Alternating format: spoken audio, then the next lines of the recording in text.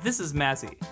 In this lesson, we talked about left hand technique, bow technique, and rhythmic counting.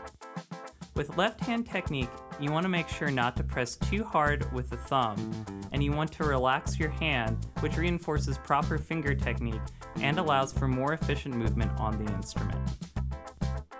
With bow technique, or right hand technique, there's a tendency when you first learn the violin to pull out with the shoulder. You want to avoid this. Most of the motion is between the elbow and the wrist, unless changing strings. So in this lesson we talked about keeping the bow straight and keeping it located in between the bridge and the fingerboard. Finally, we discussed rhythmic counting, emphasizing the differences between different rhythmic subdivisions such as half notes, quarter notes, and eighth notes, and the differences you need to make with the bow when playing such rhythms.